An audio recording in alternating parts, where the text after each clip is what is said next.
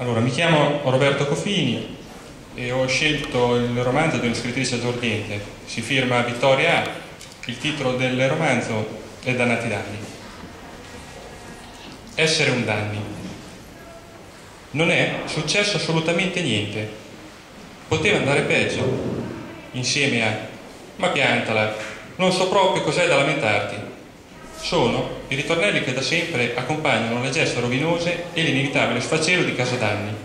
Già, i danni.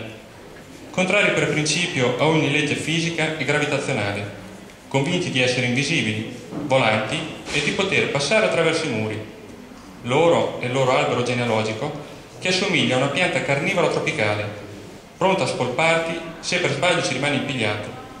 Dove passano i danni non resta più nulla Scompaiono addirittura gli edifici.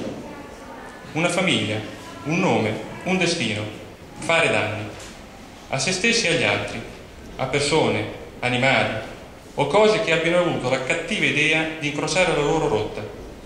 Ed è al passo di questo leitmotiv martellante, niente di cui preoccuparsi, tutto sotto controllo, che le cose, col passare degli anni, hanno preso la porta nell'apparente distrazione generale gli oggetti in casa nostra hanno sempre avuto il dono di materializzarsi e smaterializzarsi secondo l'interpretazione del momento. Quando erano necessari, erano ancora nostri, anche se qualcuno ce l'aveva già espropriati da tempo. Quando invece nessuno li cercava, si pretendeva di non sapere neppure di averli mai posseduti prima. In certi periodi, poco per volta e con discrezione, tanto che quasi non ce se ne accorgeva. In altri momenti senza alcun ritegno in massa. Tutto il contenuto della casa ha fatto la sua uscita dalla porta d'ingresso per non rientrare mai più, sgraffignato, pignorato, espropriato o venduto battendo sul tempo i funzionari venuti per il sequestro. Gli arredi cessavano di esistere da un giorno all'altro e, in quelle circostanze, si doveva semplicemente smettere, senza commentare, di mangiare su un certo tavolo da pranzo oppure di cercare le lenzuola in un determinato armadio, perché entrambi non c'erano più. In questi casi, dopo un attimo di sorpresa e mista rassegnazione, si doveva guardare altrove, con aria tediata, pensando, non c'è più l'armadio? Ma sì, che oggetto banale.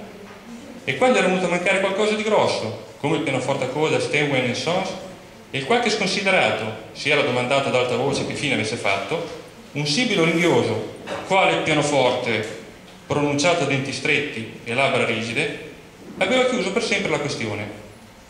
Chi compiva gaff di questo genere si precipitava a porvi rimedio fingendo di essersi sbagliato, vittima di una svista, di una distrazione. Sì, forse aveva visto un pianoforte, piccolino, vecchio, che era stato lì per qualche tempo, ma chissà poi che fine aveva fatto, in cantina, buttato via, regalato a qualche cuginetto che voleva strimpellare. Chi se lo ricordava più? L'impronta rimasta sul tappeto era solo un disegno della trama. Se da casa d'anni si poteva far uscire di tutto, senza che nessuno battesse ciglio, c'era tuttavia una sola cosa che non si poteva assolutamente fare entrare mai, per nessun motivo al mondo, la realtà. Bisognava sempre sorridere e dare l'idea di essere non solo felici, ma addirittura beati, di non accorgersi che i caloriferi erano spenti in dicembre, che non c'era l'acqua calda per lavarsi, che il telefono era regolarmente tagliato, che il più delle volte mancava la luce e, quando c'era, si doveva ringraziare un cavallotto abusivo e che c'era un creditore, sicuramente un maniaco, che telefonava tutte le ore del giorno e della notte emettendo ruggiti infernali a puro scopo intimidatorio.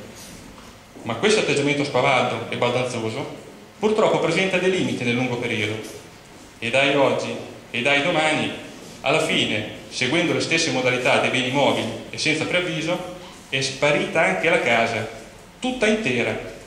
Anche in questa circostanza, però, è stato fondamentale far finta, far finta di credere che di lì a poco ce l'avrebbero restituita e che si trattava di un banale equivoco, una cosa da nulla. Mia madre, Anna, doveva continuare a credere di essere la regina di non so dove, che difendeva tutta sola il suo regno dagli attacchi dei nemici e a convincersi che, dopo mille peripezie, inclusa quella di rubare il suo fascicolo dal tribunale, ci sarebbe riuscita. La dipartita della sua regale dimora era stata per lei un fatto imbarazzante e increscioso, naturalmente inspiegabile. Tuttavia, nel giro di pochissimi secondi, lei era già riuscita a spalmare la colpa addosso a tutti quelli che per un verso o per l'altro le si trovavano intorno. Ciò nonostante, la casa è andata all'asta e Anna è stata buttata fuori senza neanche il tempo di prendere le sue cose e senza avere altro posto dove andare che un albergo a ore dietro al cimitero monumentale, dove le prostitute giravano nude per i corridoi. Non la prese poi così male. Già da un paio di sere aveva fatto nuove amicizie con cui giocare a carte e vestita come una quindicenne aveva ripreso a pieno ritmo la sua vita mondana e notturna. Naturalmente anche del suo stile di vita dava la colpa a noi, dicendo che se l'avessimo fatta più compagnia, lei non avrebbe avuto bisogno di uscire tutte le sere per non star sola, combinato in quel modo per di più.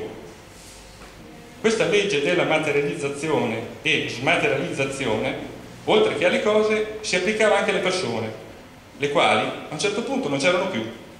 Però non si, mai, non si era mai certi fino in fondo se poi fossero morte davvero. Semplicemente non si sapeva dove fossero andate a finire, ma si continuava a parlare nel presente nel dubbio che un giorno o l'altro, magari, potessero ricomparire.